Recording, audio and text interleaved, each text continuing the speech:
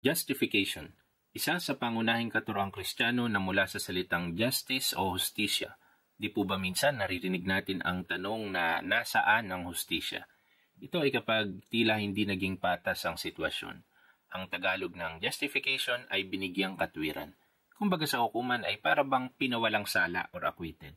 Ayon sa Roma 3 Gs, ayon sa nasusulat, walang matuwid, wala kahit isa. Ang lahat ay nagkasala sa harapan ng Diyos.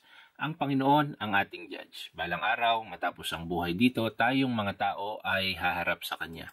Marapat lang na tayo ay hatulan. Tayo ang nasasakdal. Para humupa ang galit ng offended party, justice must be served. Ang kasalanan ay offense against God. Siya na ang judge, siya din ang offended party, and you know what? Siya din ang gumawa ng paraan upang tayo ay ma-justify, mapawalang sala Ibinuhos ng Diyos ang kanyang puot sa kasalanan doon sa krus. Sana, kapag ma-imagine natin ang Panginoong Yesus sa krus na umako sa kasalanan ng sangkatauhan, alalahanin natin ang katagang justice has been served.